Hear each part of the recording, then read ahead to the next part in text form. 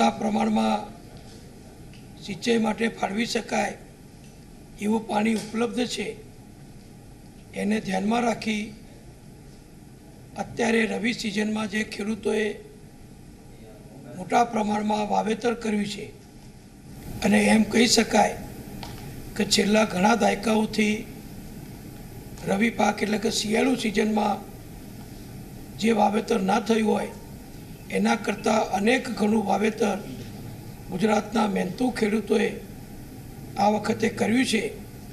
આવા ખેડૂતો જે નર્મદા કમાન્ડ વિસ્તારમાં આવે છે, નર્મદા કેનાલો મારફતે જ્યાં જ્યાં આવા ખેડૂતોને સિંચાઈ માટે પાણી મળે છે, એમના માટે પંદર તારીખ સુધી પાણી આપવાની અગાઉ જાહેરાત કરવામાં આવેલી.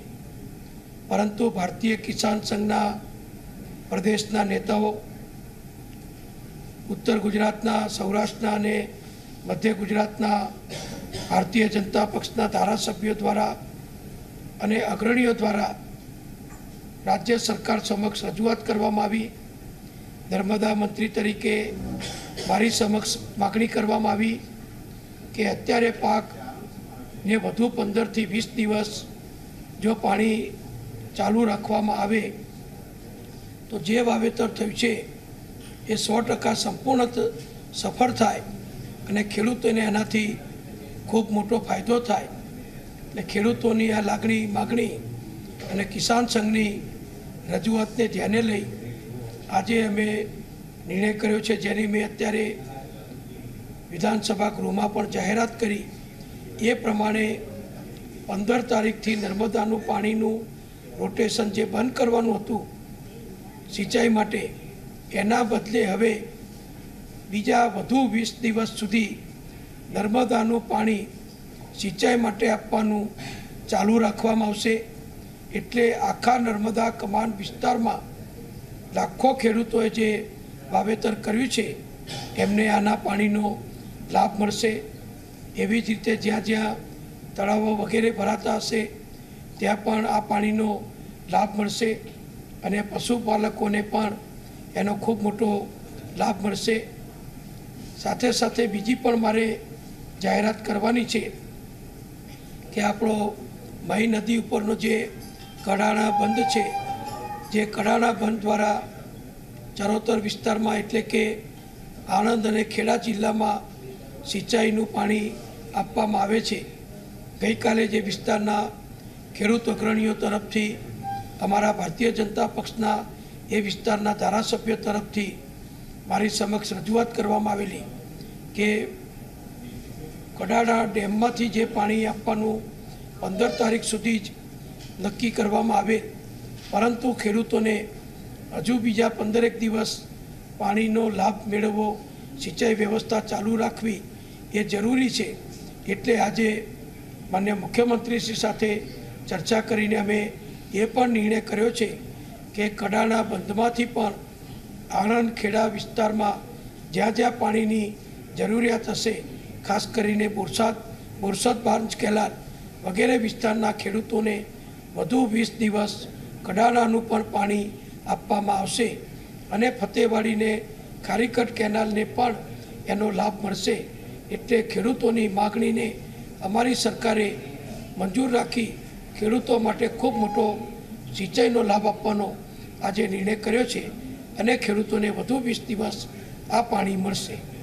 સાહેબ આ કોરોના વાયરસને લઈને બ્લેક માસ્ક અને સેનેટાઈઝરનું બ્લેકમાં વેચાણ થઈ રહ્યું છે. કાળા બજારે થતું હોવાની સારી કહેવાલ મળી રહ્યા છે શું કહેશો?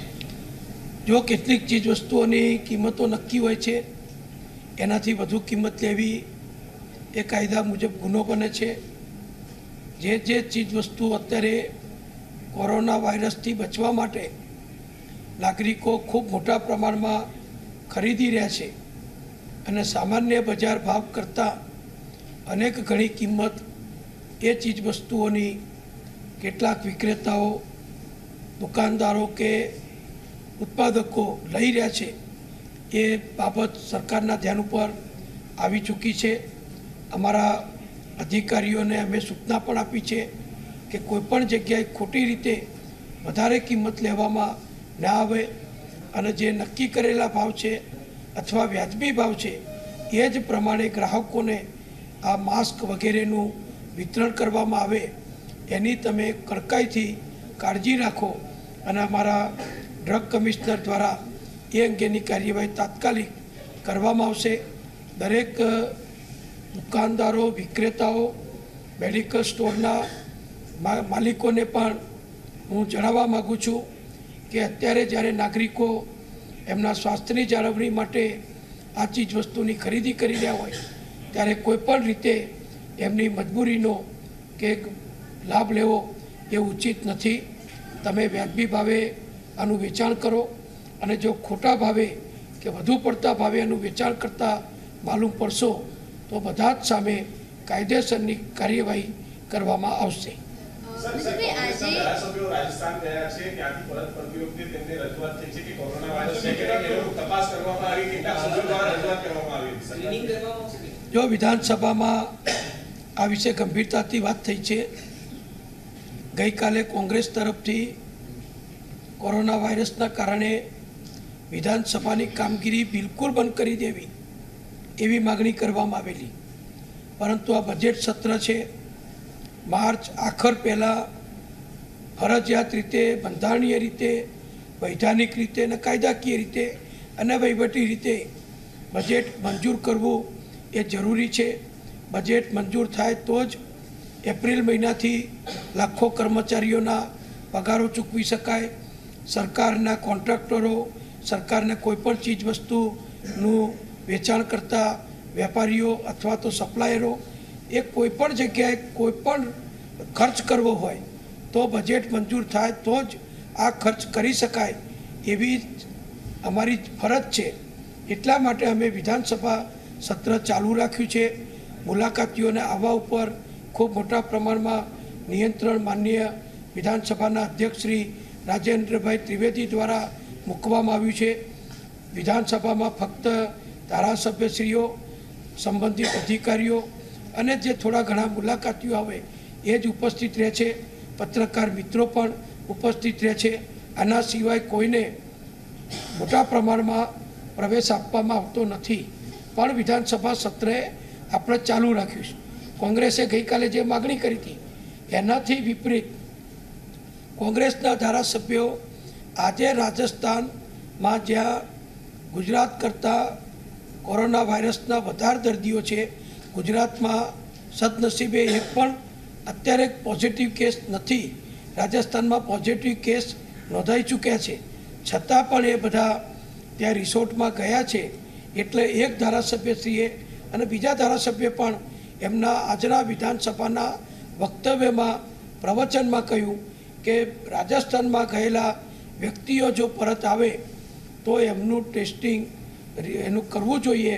એટલે આરોગ્ય વિભાગ વિધાનસભાની પરવાનગી લઈ અને જરૂર પડશે તો જે પણ ધારાસભ્યશ્રીઓ, માન્ય સદસ્યશ્રીઓ અત્યારે રાજસ્થાન ગયા છે, એ જો ગુજરાત વિધાનસભામાં પ્રવેશ કરશે, તો વિધાનસભા અધ્યક્ષશ્રીની પરવાનગી મળશે, તો અમારો આરોગ્ય વિભાગ એમના આરોગ્યની ચકાસણી કરશે અને વ્યાજબી રીતે હશે, તબિયત સારી હશે, તો વિધાનસભામાં આપણે એમને પ્રવેશવા દઈશું.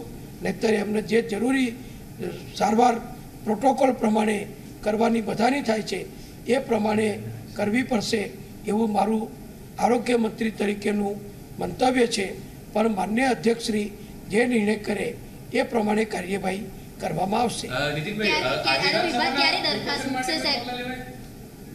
શેના માટે? આરોગ્ય તો આપણે કીધું કે આરોગ્ય વિભાગ વિધાનસભા અધ્યક્ષની પરવાનગી લેશે તો આ પ્રોસેસ ક્યારે થશે? જુઓ વિધાનસભાનું આખું કેમ્પસ એ માન્ય અધ્યક્ષશ્રીના નેતૃત્વમાં કામ કરે છે, આ આખી વિધાનસભાની તમામ પ્રકારની સત્તાઓ માન્ય અધ્યક્ષશ્રીને પ્રાપ્ત છે. રાજ્ય સરકારને પણ કોઈ કામ અહીંયા કરવું હોય તો માન્ય અધ્યક્ષશ્રીની પરવાનગી લેવી પડે છે. એટલા માટે મેં એમ કહ્યું છે કે વિધાનસભામાં જેમ અત્યારે સામાન્ય નાગરિકો માટે, મુલાકાતીઓ માટે, વિદ્યાર્થીઓ માટે અધ્યક્ષશ્રીએ પ્રવેશબંધી જાહેર કરી દીધી છે. મુલાકાતીઓને પ્રવેશ આપવામાં નથી આવતો. એ રીતે કોરોના વાયરસ જ્યાં વધુ પ્રમાણમાં છે, એવા રાજસ્થાનમાં અમારા માન્ય ધારાસભ્યશ્રીઓ કોંગ્રેસના જે અત્યારે ત્યાં ગયા છે, એ જ્યારે વિધાનસભામાં ઉપસ્થિત રહેવા પરત આવે, ત્યારે એમની ચેકિંગ કરવું એ અધ્યક્ષશ્રીની પરવાનગીથી અમે કરી શકીએ અને અધ્યક્ષશ્રી પરવાનગી આપશે તો અમે એમનું ચેકિંગ કરશું અને ત્યારબાદની યોગ્ય કાર્યવાહી કરવામાં આવશે. કોંગ્રેસના ધારાસભ્યો જયપુર ગયા છે ત્યાં બેઠક થઈ બેઠકની અંદર નિર્ણય લેવાયો. ફોર્મ પાછું ખેંચ્યું કે નહીં સોનિયા ગાંધી ઉપર નિર્ણય છોડાયો છે. પણ જે પર્યવેક્ષકો હતા નિરીક્ષકો જે સૂત્રોની વાત માની તેમણે સ્પષ્ટ કહ્યું કે શક્તિસિંહ ગોહિલ ઉમેદવાર જે છે, કોંગ્રેસના રહેશે એવું ધારાસભ્યોને સૂચના આપવામાં આવી છે. તમે કેવી રીતે જોઈ રહ્યા છો નિર્ણય? જો આ વિશે અમારે કોઈ અભિપ્રાય આપવાનો રહેતો નથી, આ કોંગ્રેસનો આંતરિક મામલો છે, કોંગ્રેસની પરિસ્થિતિ કેવી થઈ છે, એ આખું ગુજરાત અને આખો દેશ જાણે છે કે એમને જે ઉમેદવારો ઊભા રાખ્યા છે, એ બંને ઉમેદવારોને ચૂંટાવી શકે, વિજય બનાવી શકે એટલા ધારાસભ્યોના મત અત્યારે કોંગ્રેસ પાસે નથી. એટલે બે ઉમેદવારો કોંગ્રેસને જીતાડી શકવાની સ્થિતિમાં જ્યારે કોંગ્રેસ નથી, ત્યારે એમને બે ત્રણ વિકલ્પો વિચારવાના થાય છે કે ચૂંટણી કરાવી અને બંને ઉમેદવારમાંથી એક ઉમેદવારને એમના ધારાસભ્યના વધુ પ્રેફરન્શિયલ વોટ આપવા અને બીજા ઉમેદવારને ભવિષ્ય ઉપર અથવા કુદરત ઉપર છોડી દેવા, એ જીતે ક્યારે, એ એની જવાબદારી થાય. અથવા કોંગ્રેસ બીજો નિર્ણય કરી શકે એમ છે કે હજુ ઉમેદવારી પત્ર પાછા ખેંચવાનો સમય બાકી છે.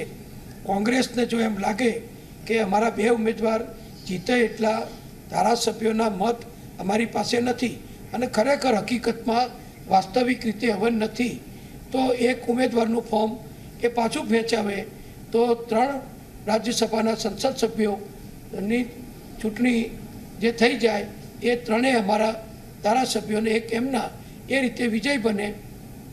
એટલે એમના એક ઉમેદવારને એમને ઉમેદવારી પત્ર સમય મર્યાદામાં પાછું ખેંચવું પડે. અને ત્રીજું આપે કહ્યું કે એમનામાંથી કોણ પાછું ખેંચે એનો નિર્ણય સોનિયા ગાંધીજી ઉપર એમણે છોડ્યો છે. તો એમાં અમારે કંઈ કહેવાનું નથી. આ એમના પક્ષનો આંતરિક મામલો છે. અને કોંગ્રેસ યોગ્ય નિર્ણય કરશે એ એમની જવાબદારી છે. અમિત ચાવડાએ એવું સ્પષ્ટ કહ્યું છે કે કોંગ- કોંગ્રેસના નેતાઓ સાથે બીટીપી અને જે એનસીપીના નેતાઓ છે રાષ્ટ્રીય અધ્યક્ષો એમણે વાત કરી છે એવું સમર્થન આપશે અને ભાજપના પણ ધારાસભ્યો એમની સાથે કોન્ટેક્ટમાં છે જો કોંગ્રેસને વિશ્વાસ હોય તો ભલે આગળ વધે અમને કોઈ વાંધો નથી. ચૂંટણી થઈ જાય મત ગણતરી થઈ જાય અને કોંગ્રેસ હારે ત્યાં સુધી અમને રાહ જોવી હોય તો એ અમને વાંધો નથી. ગઈકાલ સુધી એમ કહેતા હતા કોંગ્રેસના એક પ્રવક્તા એનું નિવેદન પણ મેં પોતે સાંભળેલું કે ભાજપના છ ધારાસભ્યો અમારા જયપુરના કેમ્પમાં છે. અત્યારે પત્રકાર મિત્રો કે કોઈ પણ તટસ્થ વ્યક્તિ જોઈ શકે છે કે અમારા બધા જ માન્ય ધારાસભ્યશ્રીઓ ગઈકાલે પણ વિધાનસભામાં ઉપસ્થિત હતા. અત્યારે પણ વિધાનસભામાં ઉપસ્થિત છે. એટલે કોંગ્રેસના લોકો જે ખોટું બોલી રહ્યા છે, અફવા ફેલાઈ રહ્યા છે. એનો એક આ તાદસ્ય ઉદાહરણ આપું છું કે કોંગ્રેસના એક પ્રવક્તા એમ કહેલું કે ભાજપના છ ધારાસભ્યો અમારા કેમ્પમાં છે. અત્યારે બધા ધારાસભ્યો કાલના આજ અને છેક ચૂંટણી સુધીને કાયમ માટે બધા અમારી સાથે જ છે. એટલે કોંગ્રેસના ધારાસભ્યો તૂટ્યા, એમણે રાજીનામા આપ્યા, એમણે પક્ષની જૂથબંધી અંગે નારાજી વ્યક્ત કરી. એ આખું ગુજરાત જાણે છે. એટલે કોંગ્રેસ એનું પરિણામ ભોગવે અમારે એમાં કંઈ લેવા દેવા નથી. હાર્દિકે એવું કીધું છે કે પોતાના સ્વાર્થ માટે પ્રજા જોડે દ્રોહ કરતા નેતાઓ પાર્ટી બદલતા નેતાઓને જાહેરમાં ચપ્પલથી મારવા જોઈએ. જેને જે બોલવું એ બોલે લોકશાહી છે. કોણ કોને કેવી રીતે મારે છે? કોણ કેવી રીતે ક્યાં જતા રહ્યા? કોણ કેવા ભૂલાઈ ગયા? એ બધા આખું ગુજરાત જાણે છે. એટલે મારે એમાં કોઈ વિશેષ ટિપ્પણી કરવાની નથી. પણ નીતિનભાઈ એવું નથી લાગતું કે જે ધારાસભ્યો પ્રજાનો મત લઈને ચૂંટાઈને આવે એ સમયાંતરે ચૂંટણીના સમય રાજ્યસભા ચૂંટણી કે લોકસભા ચૂંટણી હોય આ પ્રકારે પ્રજાનો દ્રોહ કરીને છટકી જતા હોય છે તેની સામે કોઈ કાયદો કે નિયમ બનવું જેવું તમને નથી લાગતું? જો ભારત સરકારે નામદાર સુપ્રીમ કોર્ટે અને ચૂંટણી પંચે કેટલાક નિયમો બહુ સ્પષ્ટ રીતે ઘડ્યા છે કાયદો પણ અમલમાં છે એટલે એક કાયદાકીય રીતે જેટલું થતું હોય એટલું લોકશાહીમાં ચૂંટણીમાં મતદાનમાં પારદર્શકતા આવે પ્રમાણિકતા આવે અને લોકશાહી વધુ સુદૃઢ રીતે આગળ વધે એ બધી જ કાયદાકીય જોગવાઈઓ અત્યારે થઈ ચૂકેલી છે. એનો ક્યાંય અત્યારે કોઈ ભંગ થયો હોય એવું અમને જણાતું નથી. ચાલો.